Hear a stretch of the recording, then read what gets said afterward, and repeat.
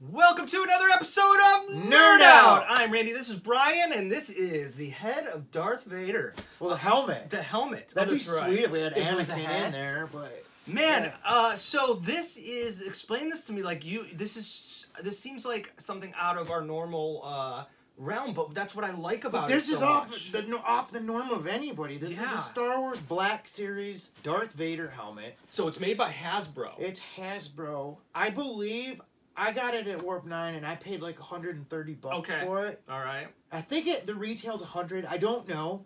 If I I, paid 200, I wouldn't give a shit. Like I'd be fine with it. Okay, look, going back in time, like when I think of like um, cosplay uniforms and costumes, Uh-huh. I think of the old Ben Cooper shit. Yeah. And it was pretty like it was kind of neat for its time, but it was never like it was never like this is the Like, do you remember Don Post? Don Post, Don yeah, Post. There was Don Post.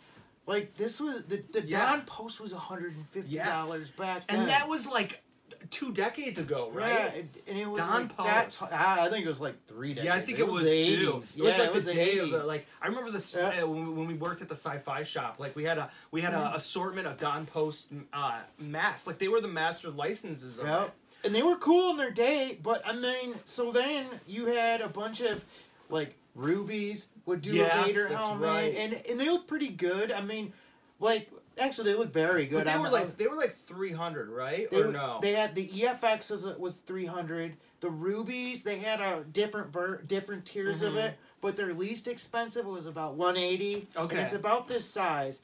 So this is like the cheapest out of all of them, and I'm not an Mm-hmm. absolute authority, but this looks damn good on A- a shelf. I mean, Absolutely. Like I'm not a cosplay master. Actually, the only the closest thing I've ever done with to cosplay is for Halloween. Um, my wife made us Tron Legacy costumes, and that was fun. But we didn't take it to a show or anything. Like today, like cosplay is like is like huge. It's like that's Yep. what people go to the it's thing. a thing. Yeah, Absolutely. it's a thing. So when Hasbro Hasbro did the Marvel, they did a, a Captain America shield and an Iron Man. Yeah, that was that- supposed to be really nice. Yeah, that shit's crazy. I love that they're doing that. that and is awesome. Yeah, and it's like, like this. Yeah, this show. does some shit, man. Okay, show Like, it up, man. Oh. You get that. There. So it's like you get the whole interior. How how how how accurate? Can I see that part? Yeah, yeah. How accurate do you think it is scale wise? It can't be because like I think it's a little bit undersized. because David Prowse must have been like seven foot tall. with, with everything on, yeah. I mean, it's a gonna little bit undersized, but it's perfect enough that it looks. I think it. It's it- built it for an adult, right? Yeah, yeah, and it like does this shit. I mean, how cool! And you get the whole inside of it. I mean, That's what blows my mind is the interior of it. yeah, It's it's so detailed. yeah, it's got everything in there. It just should be red when you look out. Like, Oh yeah. Not really, but it, it, I just think like in episode three when yeah, they showed yeah, him put it on. Why did they not put the red tint? The red tint was okay. New Hope only. New this Hope, is Empire. uh, this is Return of the Jedi, and they left out the the asymmetrical like gray Right. there and there. But who gives a shit? You know what? That's really mind blowing though to think about that it was asymmetrical. Like if you look at pictures of the Darth Vader helmet, it really is like it is off. That's awesome. but I think it was supposed to look black, but they just did it to bring detail out and like low light or Oh. something to, to build up contrast. But It's heavyweight. Like I did put it on. Oh my god, I feel I feel like the Darth Vader enters Nerd Out. where, where You fuck- picking your nose, like, dude? What are you trying to? I don't know where it was. Here, it's like all. Oh, Yeah. dude, I would make a sweet like little Darth Vader. It's Lord Helmet. Can I do like Lord Helmet. that? Is so badass. and I did notice that like uh you know I, I don't think that I don't think my physique is built for Darth Vader maybe more closer to Nien Nunb so uh you know so I mean Hey, at least you're not an Ugnaught. You I mean, know? that's- I'm not- Anything's I'm not better than an Ugnaught. yeah or a, or an Ewok I'm not quite Yeah. Ewok I figured Num Nin, Nin looked like he was like about five seven five eight he was Eh. he was a pilot um I I gotta be honest, for like 130, let's say, it is really impressive. Now, obviously, you're gonna be if you're gonna buy this, you're gonna be a different level of you're you're probably gonna take it to cosplay type thing. Like I you, mean, I'll never I don't know. put it on. Okay, I put it right. on once and just Instagrammed a picture. you're like- telling me you didn't run around your house with this on? Did for like a minute, but it gets really hard to breathe in it, and I don't like masks. Like it makes me feel real like closed in and stuff. But you bought this. Oh, did you buy this more for like a display? just to put on my shelf, I have Darth Vader's mask. Yeah, I mean, That's interesting. You know, yeah, what? if it's comfortable. I mean, if you uh, if helmets don't bother you, I mean, go with it. It's They- cool. They, they always bothered me too. Like when I was a kid, like for trick or treating, again, they made those Ben Cooper masks. Where were those? They were made out of um, what were they made out of? Like that thin plastic, like where it would crack. You know what I'm oh talking about? Oh God, yeah, yeah, yeah. And I remember Yeah. like m- my mom and was mostly like, "Hey, look, we need to create your own costume." So I Yeah. didn't, but I think I remember my brother having an Incredible Hulk uh, Ben Cooper costume. Okay. and I I remember that's what they were called was Ben Cooper. Ben Cooper was the Yep. company. Yeah, actually, they pretty much. I think they're still around. I correct me if I'm wrong, but they literally made every single Halloween costume from like 1974 on. But I remember, like, I remember it does. It does. It does feel uncomfortable to wear a mask. But And especially this, if you wore it for ten minutes, Oh, man. I think you'd freak out. what if you wore this to? a Yeah, if you wore this to a con, you probably. Like, Oh, I think most people, yeah, I, I think most people that wear them, they they uh, have fans built into them. Really? A lot of people do, yeah, and they have like the voice. ch- They have like a voice changer, Yeah. and and I, I I- I nerded out, and I was watching people that dress up as Vader. Yeah, I just yeah. got into it for a little bit, and um, like they have like like they'll have a speaker Mhm. here, and they'll have pre Oh. pre-programmed stuff to say. That is surprising that this doesn't have a voice changer because didn't they come out with a Darth Vader helmet uh, a couple years ago that I had think, that? but they don't. But it was a piece of shit. It's like all you do is you hear a voice echoing in a helmet. yeah. Oh. Um, the coolest, the, the coolest um helmets I've ever seen made was is there's a group and I and I and I can't shout out your group because I don't remember, but it was a group of uh, Power Ranger fans and they would custom make their own Power Ranger helmets, but they weren't just like Power Ranger helmets. They created their own character. They made Yeah. Okay, it was and I thought- Right, just right. came up with and I cool thought stuff. that was the coolest, nerdiest thing I've ever seen because I talked to a, these two guys and they're like, "What? we created our own character. We built our own helmet out of fiberglass, and like these are our characters. Like that's the ultimate role play." How old were they? Uh, I would say they're about eighteen to twenty-four. Okay. So that's you know that's the right age. Yeah. But like I get it. Like I'm not a cosplayer, but I get the need for escape. Yeah, I could is- get into it. I think if I were younger, Mhm. like if I were like Why? say, Why would you need to be younger? Just you think? just because that's when my interest in it, I like see. most of the things I'm into now, I've, I, it's, Mhm. that interest was I sparked gotcha. when I was young. Makes sense. But with all the shit that's out now, Mm-hmm. it would just be. I think I, I think I could get Okay. into it. If you were to cosplay, would you create your own character or would you go as somebody? Probably both. Yeah. I Who think would I you go? I think I would do Boba Fett, Jango Fett. I couldn't do Darth Vader. No, because you got to be tall to be Vader. Uh, I I think Boba Fett would work. You're about Yeah. the height for Boba Fett. Uh, I think Wolverine would be my only option, but I'm not big enough for Wolverine. It's just that he, like that doesn't stop those guys. They go work out and shit. I would- It's amazing dude. what these people do to put up. I mean, it's like wow. I think it would be really fun to create your own character and like go cosplay. Like like I said, like uh, Stacy made these Tron Legacy costumes, and I got to be honest with you. Like I'm sure I looked like you know. A, a dad in a Tron Legacy costume, but I really it was fun. It was a lot of fun. It felt good. Plus, you know, the skin tight outfit. I just love. I love the. Yeah, dude, you love that, I man. do. I Yeah, don't know that's man. awesome. I, I just Oh, do. Um, but uh, look, if you, uh, I think this is not okay. So the sounds are just. It's on the button. Yeah. Um. Here, where is it? Right there. sounds good. So it does that. If you separate it, here. Okay. I forgot. I forgot. I totally forgot. this is If you separate it, it makes that noise. Now oh, like in. I'm dying. Oh my god. Like, what else do you want it to do?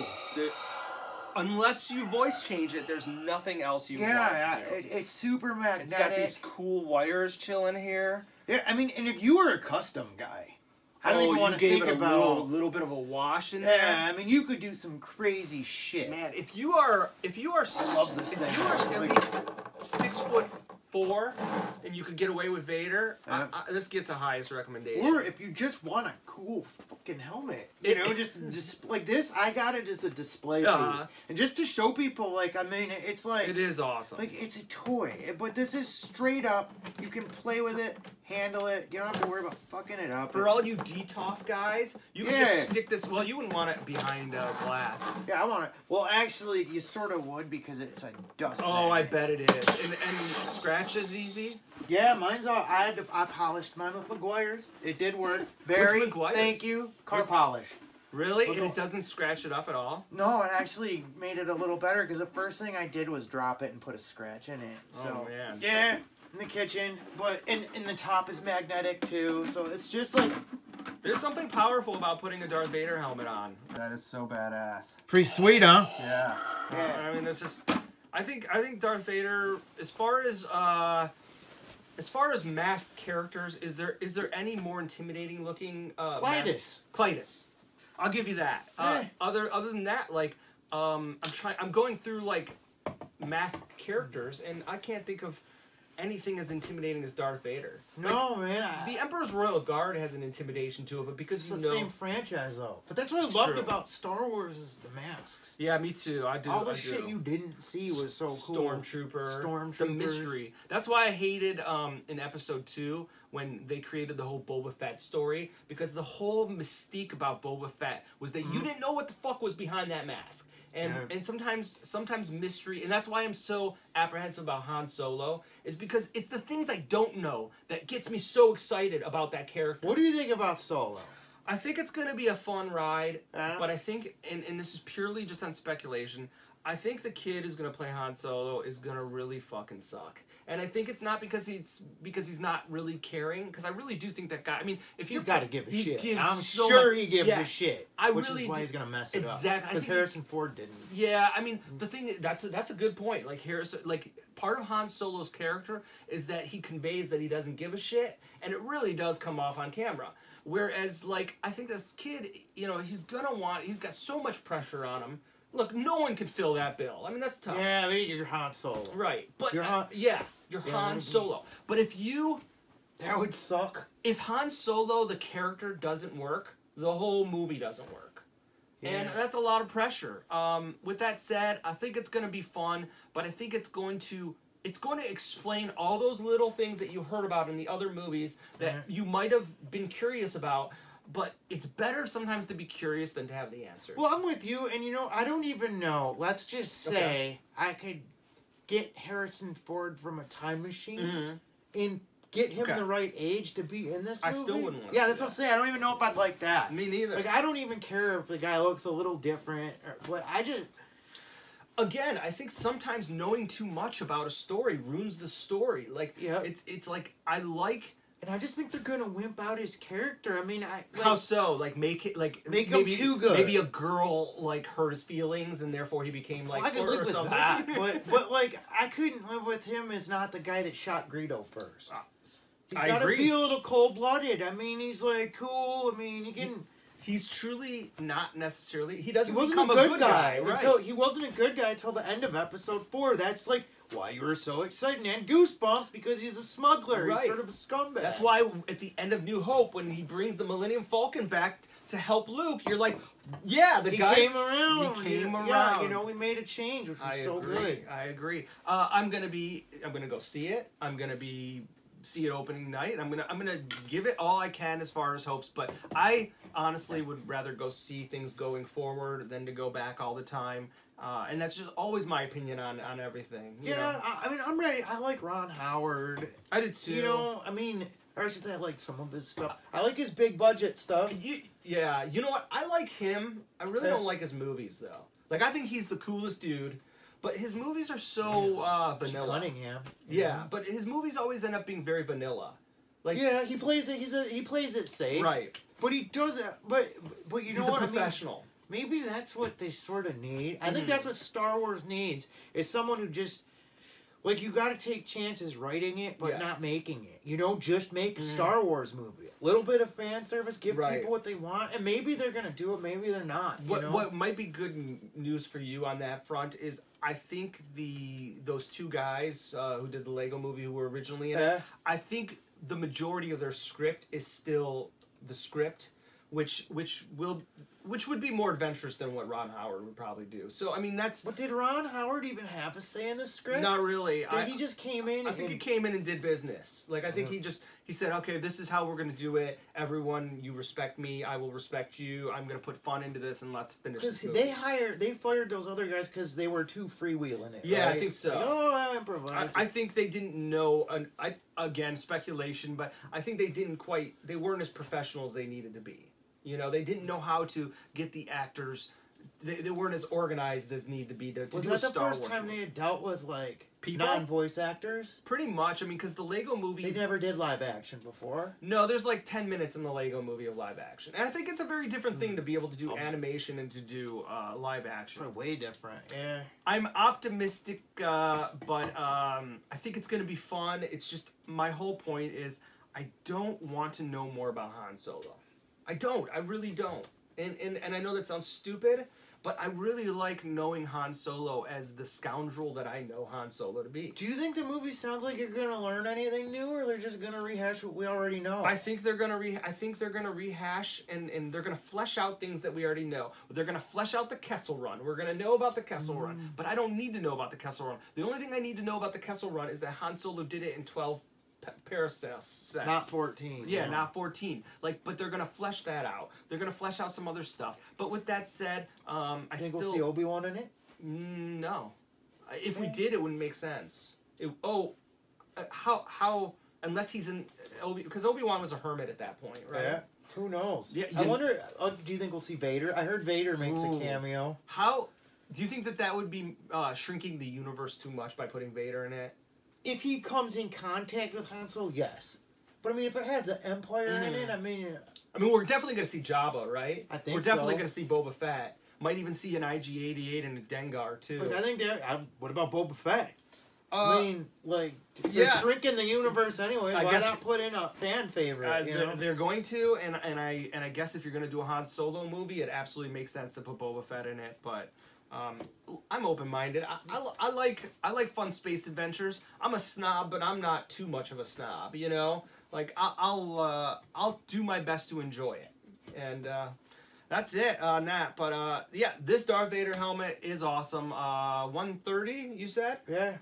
I Yeah. mean, it's worth every cent, especially if you just want something that just like display piece. I mean, that's what I got it for. Yeah. It's cool. You can put it on. you got to get a lightsaber hilt, right?